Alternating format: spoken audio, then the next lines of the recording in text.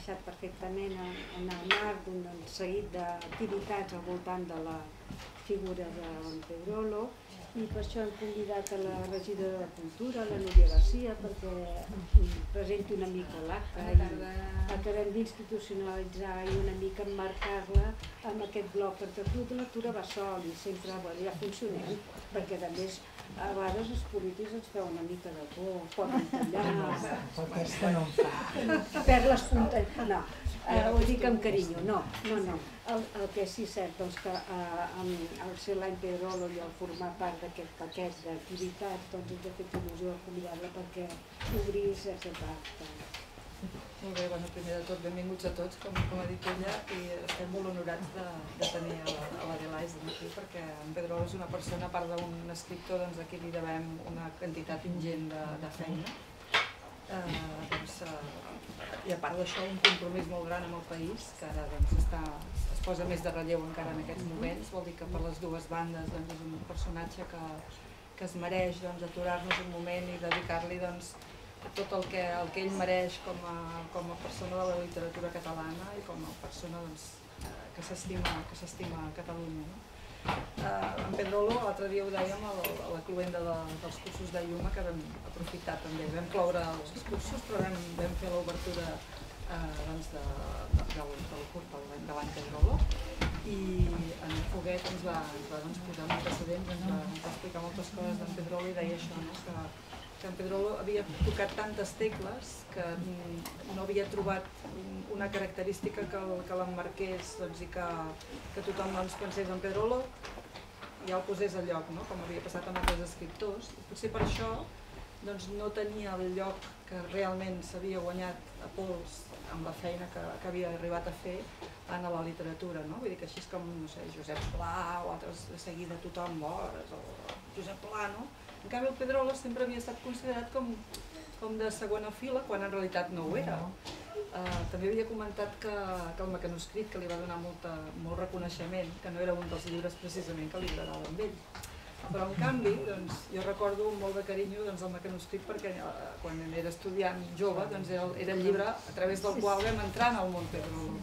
I va ser com un descobriment, no? que llavors ens va permetre d'entrar en altres llibres i conèixer molt la seva obra o els llibres de la cua de palla, que hi era al darrere, que també doncs, tots en tenim el prestatge de casa, els llibres grocs, eh, doncs, novel·les policíaques, i vam entrar també doncs, a les traduccions de les novel·les importants americanes, vull dir que, que se li deu tant a Pedrolo, que per això doncs, és un dels motius pels quals doncs, hem escollit aquest any que vam començar doncs, celebrant eh, la commemoració de l'any Fabra, que també és un personatge gegant, de, aquí devem doncs, molt, molta cosa, Uh, la segona persona que vam pensar que era interessant doncs, de, de rescatar i de, i de, i de celebrar-ho era en Pedrolo, perquè aquest any doncs, es, es celebren moltíssimes coses, de fet cada any, a Montserrat Avelló, la Maria Aurelia Capmany, el seu pare, vull dir, hi ha la tira de celebracions, però no les podem fer totes i ens va agradar doncs, en Manuel de Pedrolo, perquè vam creure que era el que realment ens venia de gust de,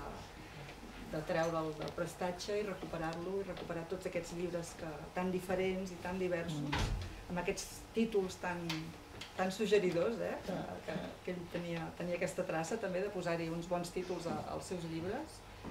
I bé, doncs hem intentat doncs, això, fer aquest cicle de, de coses diverses, que doncs, hem, anat, hem anat tocant tecles, l'altre dia amb en Cesc Freixes doncs, vam fer un concert, eh, ara vull això, properament doncs, hi haurà també l'Àngels Basses que ens vindrà doncs, a recitar amb un violoncel. I una mica, tot i que no haurem fet tot el que, el que es voldria fer, doncs, serà passar-hi una mica per sobre i intentar doncs, bueno, recordar-lo i, eh, i dur-lo altra vegada a l'actualitat. I, I destacar també que, que realment és el que deies, que són temes de molta actualitat, d'una època, als anys 60, amb molta repressió, eh, en èpoques molt dures que ell sabia potser que no els hi editaria perquè la censura no permetia, és més, el que heu llegit que no hi entrarem a fons, no va publicar fins als 70, no es va publicar fins Tota- als 76. Tota la i, i ho va I fer, abans dies 20 anys es van passar. és que va agafar tot, el, als anys 60 es va, Després un apartat el dedico a censura i us explicaré les doncs, peripècies. doncs si et que n'hi ha sembla bé, l'aprofitem Sí, i sí, que sí. arrenqui, perquè ja, arrenca. si no... Bueno, bona tarda a tothom, gràcies per estar aquí i gràcies a vosaltres per I haver-me convidat a parlar del pare. El primer que us haig de dir és que jo no sóc ni docent, ni sóc eh, especialista en literatura, ni tan sols sóc una estudiosa de l'obra del meu pare. Sóc la seva filla, que ja és força, però això ja no, no em dona cap titulació.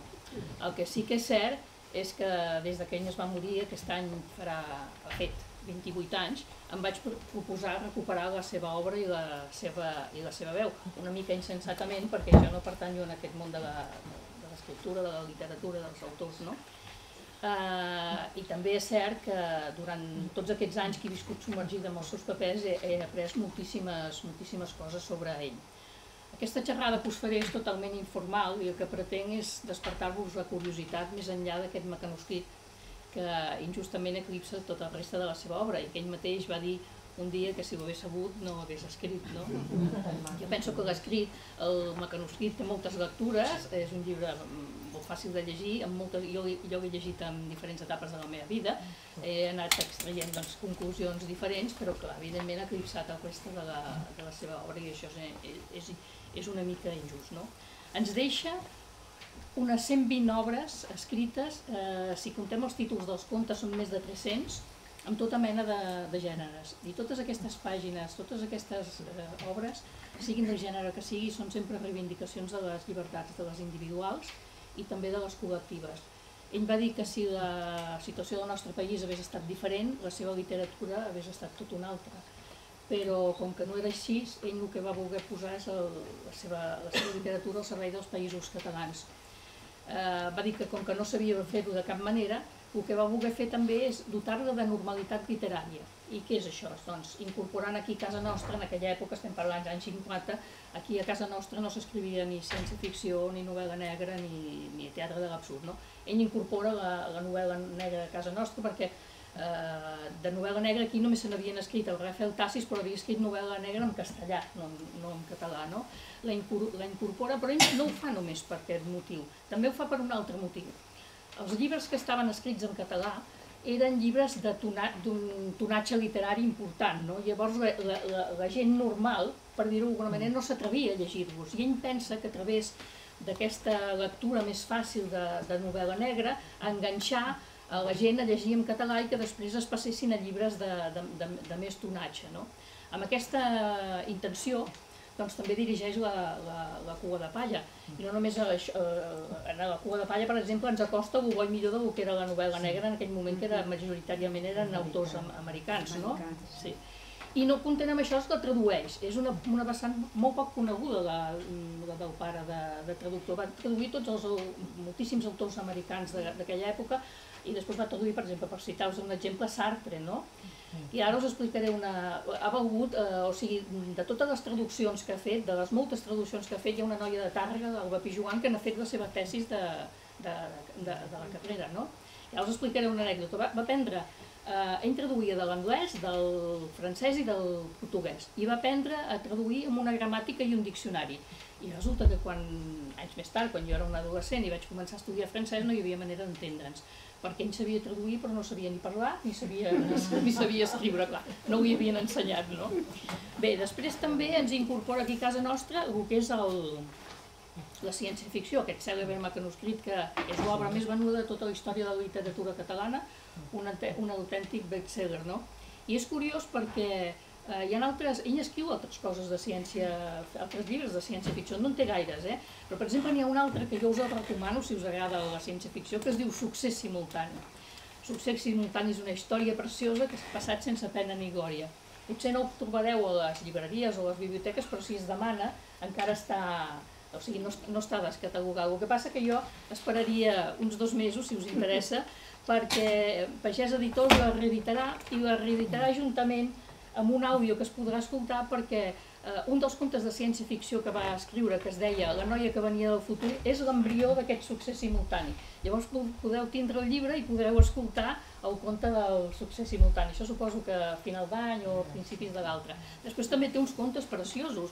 Uh, un que es diu Urda, un, un planeta impronunciable que té cinc consonants seguit, seguides. I també han passat sense pena ni glòria eclipsats per aquest mecanoscrit. No?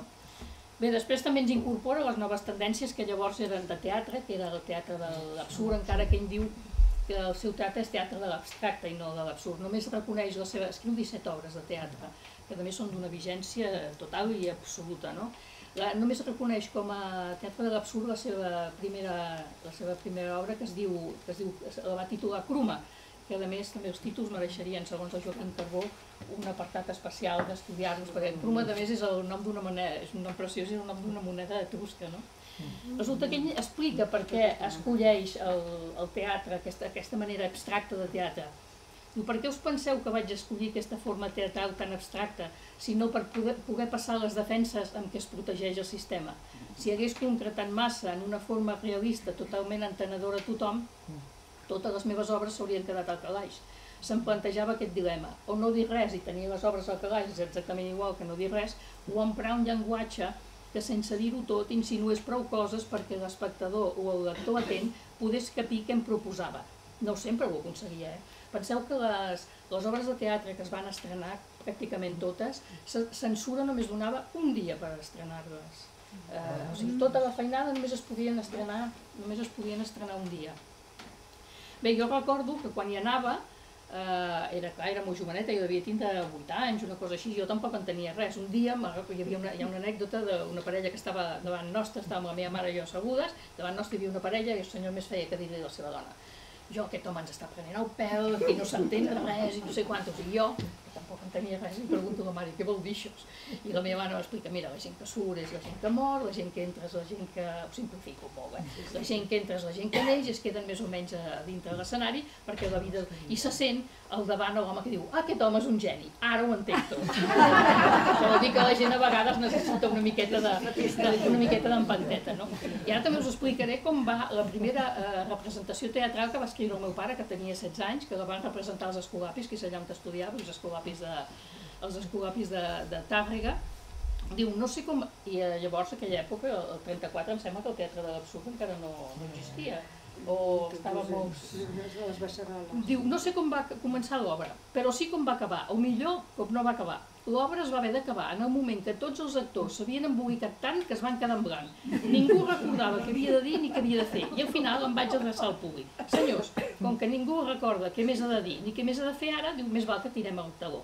Algú va tirar el taló i aquí es va fer la primera representació teatral del meu pare, que lamentablement tant el programa com l'obra durant la guerra es va, es va perdre. No?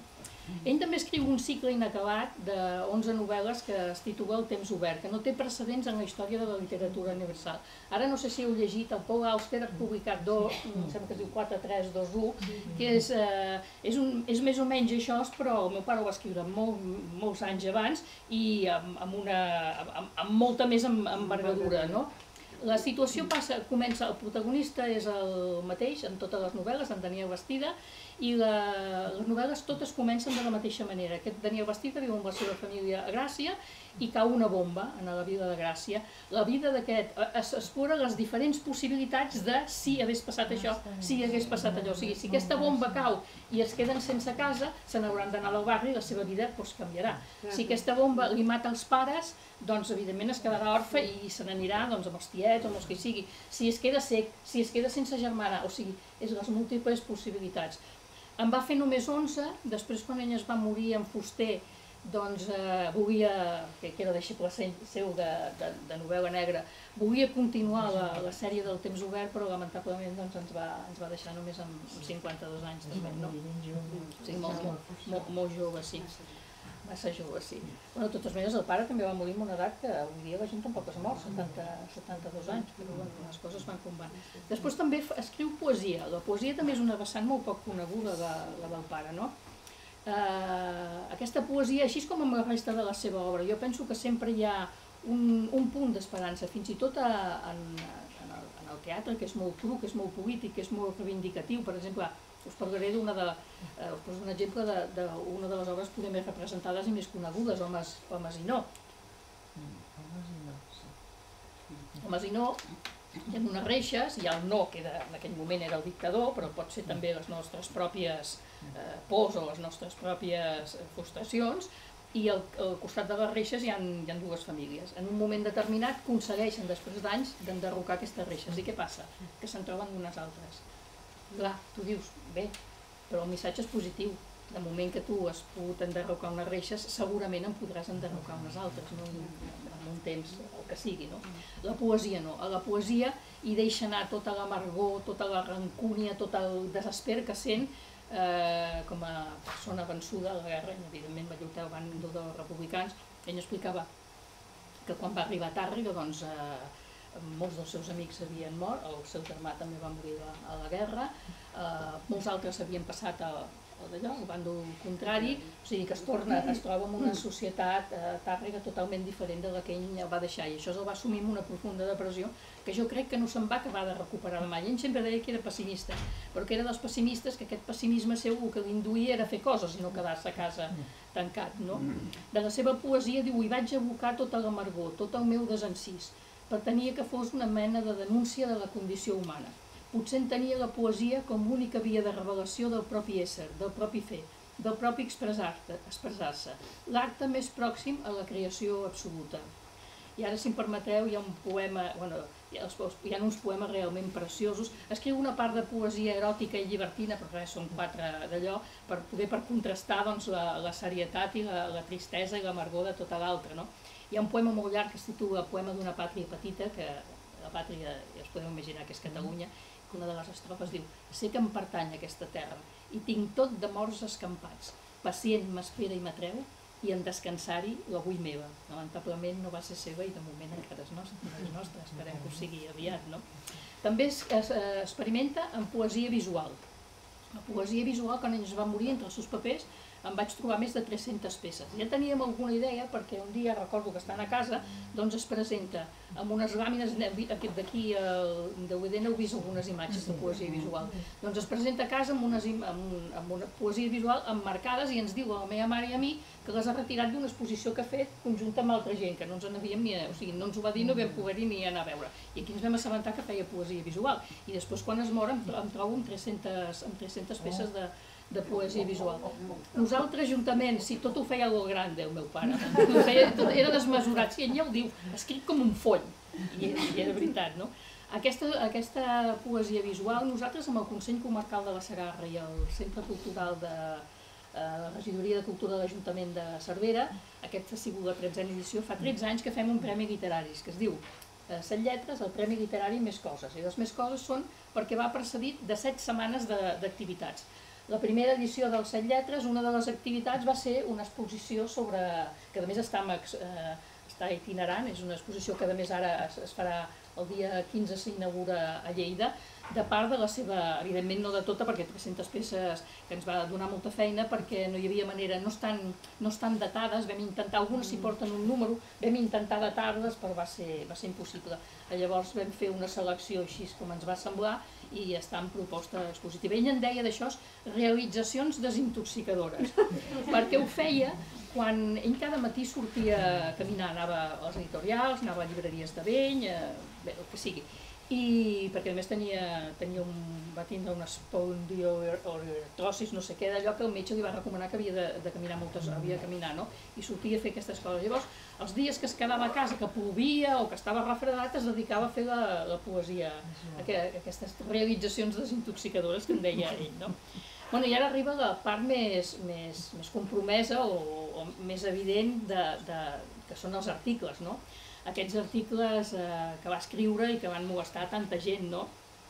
També van, va començar malament amb els articles. L'any 35 ell estava estudiant aquí a Barcelona i el, els, els allò, el, allà, on allà on havia estudiat els escolapis de Tàrrega editaven una revista que es deia Petit Liceu i li van demanar un parell d'articles. I diu, cap d'ells no hi fou publicat. El director em va escriure que era impossible de fer-ho, ja que ningú havia pogut desxifrar la meva lletra. M'ho vaig haver de creure, perquè en aquells mateixos moments tenia un problema per l'estil a l'acadèmia on assistia. Totes les meves redaccions em tornaven amb un zero, acompanyat d'aquesta nota, part i legibilitat. No hi ha dubte que sense la màquina d'escriure no hauria fet mai res de bo. I ara us explicaré també una altra cosa. Jo recordo estant a casa, tenia molt mala lletra, ell tenia lletra, diu lletra de metge, que no s'entén res, i no se l'entenia ni ell mateix. Llavors jo recordo vegades que li deia, a la meva mare es deia Josefina, i ell carinyosament li deia Pei, i li deia Pei, què he posat aquí? I ara vosaltres us preguntareu, us preguntareu com és que la Pei sabia desxifrar la lletra i ell no, oi? Pues perquè bueno, ells van tindre un festeig complicat, els va agafar la guerra, la mili, i a més també cada dia s'escrivien. A més, a casa, a casa de, de la meva mare, la meva mare, ja ho heu vist aquí, venia d'una família obrera humil i el meu pare era noble, arruïnats però nobles. Llavors a casa de la meva mare els hi semblava massa senyoreta el meu pare i a casa del meu pare els hi semblava massa senzilla la meva mare, o sigui que van tindre molts entrebancs. Però ells es van escriure cada dia llavors, esclar, a la meva mare no li va tocar altre que aprendre a deixar la lletra. Llavors, quan el meu pare començava a ser una mica conegut, doncs el que van decidir és que no, no van voler que, que ningú eh, d'allò d'allò, tafanegés la seva intimitat i van decidir cremar les cartes i les van cremar a la llàstima. Sí, és una llàstima, jo també penso. Penso perquè podíem haver deixat un d'allò com han fet altres autors, els 50 anys de la mort de, de, de l'últim que es mori dels dos, però bueno, va ser la seva voluntat i és, i és, i és respectable, no? Bé, hi ha les circumstàncies, exacte. Bueno, que a més, eh, carta diària durant 7 anys, un epistolari, una, una, una enciclopèdia quasi bé, eh? déu nhi sí. Bueno, us he dit que diu, no hi ha dubte que sense la màquina d'escriure no hauria fet res de bo. Bé, doncs tampoc ho va poder fer, perquè quan havia arribat aquest, quan ell hauria pogut tindre l'oportunitat aquesta, a casa nostra fins l'any 62 van passar 27 anys que aquí a casa nostra no hi havia cap diari ni cap revista escrit en català i ell sempre es va negar a fer-ho en, en castellà. A l'any 62 Pont Blau li dona l'accés, després col·labora amb, amb Telestel, en diverses publicacions, amb Oriflama, també escriu a Serra d'Or i tal, i després fa eh, col·laboracions quinzenals amb el diari Avui. Arriba un moment que es fa tan molest que fins i tot el diari Avui el fa, el fa fora. I llavors ell diu que se li, bueno, se li ha acabat la, se li ha acabat d'escriure articles perquè diu que de la mateixa manera que els llibres es puc guardar al calaix esperant una oportunitat eh, doncs per poder ser publicats l'article és de, de consum actual i el que avui és actual, doncs quan es pogués publicar deixaria de ser-ho. Lamentablement no va ser així, ara us llegiré un article mireu, si fa 28 anys que és mort, vol dir que com a mínim en té 35 aquest article. Sí, diu, sabrem que una terra és ocupada no només per l'espoliació econòmica, per la dependència política, sinó per la falta de llibertat amb què es mou la cultura indígena, per la desconsideració que sofreix la seva llengua, per la creació de dispositius que la posen contínuament en discussió i la subordinen a la cultura importada, des dels centres directors des dels quals es decideix en darrera instància si la corda serà curta o serà llarga, i els pobres catalans sembla que no se'ns acut que sempre, mentre hi hagi corda, curta o llarga, la durem lligada al cony. Us sona això? Va guanyar 24 premis literaris, entre ells, sí, entre ells el, el, el Premi d'Honor de, la, de les lletres catalanes. Ell és conscient de que molesta el sistema, però no obstant no deixa de ser qui és. Ell va fent la seva. De fet, en Castellet, quan va presentar posteriorment a la seva mort, que es van publicar els dietaris, va dir que era l'única persona que vivia amb independència a Catalunya. Ell feia la seva vida sense importar-li doncs, les conseqüències que va, va haver de pagar sovint doncs, dels altres. No? Va ser, i ara us explicaré una miqueta eh, sobre censura, va ser l'autor més censurat de tota la història de, del franqui, de, de la literatura catalana, i l'altre dia em van dir, i de l'espanyola també. Les seves obres eren censurades per catalanisme, opinions polítiques, religió, moral sexual i llenguatge indecorós. O sigui, absolutament, absolutament per tot, no se salvava res. Bueno, ja us explicaré unes quantes peripècies acte de violència, bueno, el pare també dius que era un transgressor, eh? un transgressor i a més jo crec que va ser un exemple clar que realment es pot viure plantant cara al sistema. Una altra cosa és el preu que em va haver de pagar, no? I ara us en posaré un exemple. Uh, L'any 61 escriu, i, i l'any 61 escriu um, Estat d'excepció. El presenta, ell se'l queda al calaix perquè ja veu que, la, que, no, que no hi haurà sortida. No? L'any 68 guanya el Prudenci Bertran amb aquest, amb aquest, amb aquest, amb aquest títol, amb aquesta novel·la. Per què es presenta els premis? Es presenta els premis no només per donar-se a conèixer, sinó perquè quan un guanyava un premi tenia la seguretat de que se li publicava. Bé, es publicaven a tothom menys el, el pare. Evidentment, us podeu imaginar que quan els censors, que diu que de censors que llegissin català només n'hi havia dos, que eren valencians i eren catalans. Aquests censors reben l'estat d'excepció només pel títol, ja se'ls devien sortir els ulls a les òrbites, evidentment la van denegar esperen un temps i el presenten amb un altre títol que poder no és tan agressiu, però déu nhi que diu Esbarrem els murs de vidre, cauen en mans del mateix, del mateix censor, cosa que no era gaire difícil perquè només tenia el 50% de probabilitats, no? I diu, este libro ya ha sido presentado. De fet, de fet ara, el, la càtedra Marius Torres, que ha digitalitzat 73.000 pàgines de l'obra del, del pare, que estan a les xarxes si les voleu consultar, eh, aquest any s'han anat a Madrid a digitalitzar les fitxes de les prohibicions de tots els llibres del pare i també les posarem a la, a la, a la xarxa. Pues bé, aquest senyor diu, esta, esta obra ya ha sido presentada, no se puede publicar porque ataca el dogma. Bueno, el dogma hemos topado. Fins l'any 75, o sigui, 14 anys més tard, no es pot publicar eh, aquesta obra amb el títol d'acte de violència, que és una de les reedicions que s'han fet a, a, aquest any.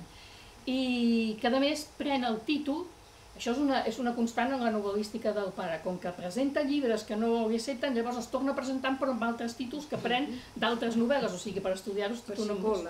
Sí, és, exacte, per psicòloga, per total, que és un embolic, no? Doncs pren acte de violència d'un llibre que 40 anys més tard el vam trobar censura. Una estudiosa holandesa va anar a censura i va trobar un llibre que es titulava Acte de violència i clar, no podíem tornar a publicar amb aquest títol i es va publicar, és un, és una, és un thriller, és una novel·la negra, i el vam publicar amb el, amb el títol de, de doble o res. Ara també us faré un... Mira, us, us diré, entre els anys 1950 i 1970, 39 llibres esperen entre 1 i 5 anys per ser publicats, 19 entre 6 i 10 anys, 7 entre 11 i 15 anys, 16 entre 16 i 20 anys, i 3 més esperen més de 20 anys a poder ser, a poder ser publicats. No? Ja també us llegiré el periple que patien tots els llibres amb, amb, un, amb un en concret. Cendra per Martina, l'escriu l'any 52. Selecta el presenta, el 53 se li denega, el 58 se li torna a denegar, el 1960 se li torna a denegar, i el 19, fins al 1965, que guanya la, el Premi Lletra d'Or, no, o sigui, 13 anys després, no ho pot publicar. Tota la seva novel·lística és així. Després, esclar, s'ha fet molt difícil, ella es queixava perquè deia que eh, quan sortia un llibre seu al carrer, la crítica no li, no, no, no li seguia la seva trajectòria. Eh, I és clar, és molt difícil seguir la trajectòria d'una persona quan treu un llibre que l'ha escrit aquest mateix any, perquè ha pogut passar per el que sigui, els llibres sortien trinxats també, eh? no us penseu que... L'únic llibre que no va sortir trinxat va ser totes les bèsties de càrrega perquè els censors no van entendre absolutament res. Devien pensar que home se li anat la xaveta. És l'únic que no van, és que no van censurar. Però sortien amb moltes, després les noves edicions ja es van anar, es van anar publicant amb amb, amb, amb les coses que s'havien produït. No? Doncs tota la novel·lística del pare eh, és, és, sofreix les mateixes, les mateixes conseqüències. Bueno, després Quina constància, eh? Quina tossuderia. Molt, sí, sí, era molt, era molt constant. Era, era molt constant, sí, sí, molt constant. Va estar empresonat? No, no, ara, no jutjat, no, si ara us explicaré el del, el del judici, tinc per aquí. Escriu l'any 59 una novel·la eh, sobre un humor homosexual. I ell mateix ja veu que això no pot sortir al carrer, no? Eh, un amor fora ciutat. El publica l'any 1970. El publica, en aquell moment censura ja no existia. Existia una cosa que es deia um, consulta voluntària prèvia, que de voluntària no en tenia res, i havies de passar-hi, o sigui que ja veieu que la tergiversació de les paraules ve de sempre, no? Sí. Doncs la, la presenta, passa tots els requisits legals i un senyor militar s'ofèn i el denuncia. I per escàndol públic. I el jutgen per escàndol públic. Però què passa? També se salten les lleis a la torera. Resulta que normalment bueno, el, procediment era eh, la policia mm, mig, mig d'amagatot i se n'anava al magatzem de l'editorial i a les llibreries i d'allò i, i d'allò i requisaven, requisaven els llibres. Però aquí, pel motiu que sigui, se'n van assabentar i eh, tothom va amagar els llibres, i total que només se'n van poder portar 12 de, de llibres requisats. Què passava quan, eh, quan denunciaven amb, una, amb un autor? Per escàndol públic, en aquest cas. Que a qui es jutjava era l'editor, no l'autor, perquè era l'editor el, que havia, el que havia publicat el llibre, el culpable era l'editor. Doncs no senyor, aquí jutgen el meu pare. Salten totes les lleis. I qui el jutja? El jutja el top, el Tribunal d'Ordre Públic, que jutjava delictes polítics, no delictes d'escàndols públics, o sigui que es van saltar totes les... Com sempre. Sí, sí, com sempre, o sigui que de, de, des de sempre, no? Ella, ella escriu sobre això Diu, sembla impensable que el TOP hagi d'atendre el cas d'una novel·la denunciada per la seva immoralitat i no pas per qüestions polítiques, no? Diu, però hi ha moltes coses que són impensables en aquest país i no obstant això tenen lloc. No vull dir res del silenci absolut amb què la premsa va tractar, el, diu que va sortir una nota i que aquesta nota encara va vindre propiciada perquè el, el, el d'allò, que havia de publicar l'editorial, va insistir en els mitjans de comunicació. Ell es queixa, diu, mentre els, els, els, allò, els periodistes doncs se'n fan ressò dels problemes que tenen els autors en aquell moment soviètics amb llur règim, diu, sembla estrany que aquí no hagin volgut aprofitar, mm. aprofitar per crear opinió, doncs diu, perquè crec que sóc el primer autor jutjat, no? I realment va ser-ho eh, i va guanyar, la, o sigui, va, va, guanyar el, va guanyar el judici, no? Bueno, uh, i ara per acabar, sí, el, que, el que us volia dir és que us volia llegir unes... Si el trobo, que en tants papers. Resulta que quan, va, quan es va morir, entre els seus papers, vaig trobar unes quartilles, vaig trobar unes quartilles que parlava de la seva obra i de com li, li agradaria ser, ser recordat. Uh, no sabem, estaven sense detalls, vam, ens vam imaginar que seria el discurs que va fer, eh, em sembla que el, el, el Sant Jordi va guanyar l'any 63 pel llibre de Bagans fins a la matinada, perquè parla de la seva obra fins a aquella època i evidentment que no parla de la que no ha escrit. I a les dos últims paràgrafs parla de com li agradaria ser recordat. Però abans us volia dir doncs, que el pare no va escriure ni per, ni per distreure ni per distreure's. Va escriure perquè tenia realment una veritable necessitat doncs, de comunicar. Per això en un moment determinat va deixar la, la, la poesia i el teatre, que són minoritaris, i es dedica doncs, a, a escriure novel·la, que és d'un ampli abast, perquè el que ell vol és, és, és d'allò, és que la gent, intentar que la gent es qüestionin els, els rols socials que li, que, que, que, li, que li van tocar viure. No?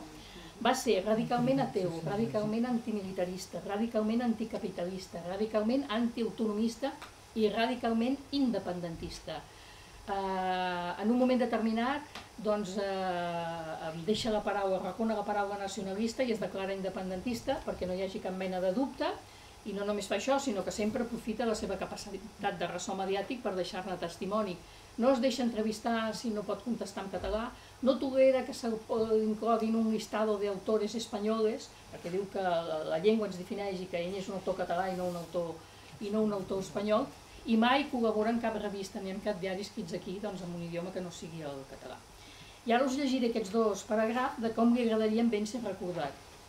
Però no però m'importa d'afegir que si en un futur he de ser recordat, m'agradaria ser-ho, no com un simple creador de mons imaginaris, de ficcions, sinó, per damunt de tot, com un català que en un moment de la història del seu país, aquell que li tocava viure, un moment tan difícil i propici a tots els abandons, va restar fidel a la seva terra i a la seva llengua, i com que no podia servir-la d'altra manera ni tenia altres facultats, li donà unes dotzenes o uns centenars de criatures que eren, que són, també d'aquí, i que fent això contribuïa a la continuïtat d'un fer cultural, a la prolongació d'un projecte que ens és propi i a donar fe d'una manera d'ésser i d'existir prou forta, prou plena de vitalitat i fins i tot prou exuberant per a permetre en el seu sí la presència dels inconformistes que, com jo, voldrien revisar conceptes i estructures, no pas per vici ni afany de novetat, ans perquè l'home els fa mal i els fa mal la pàtria, i voldrien que uns i l'altre fossin millors, però ells mateixos, sense pèrdua de personalitat, al contrari,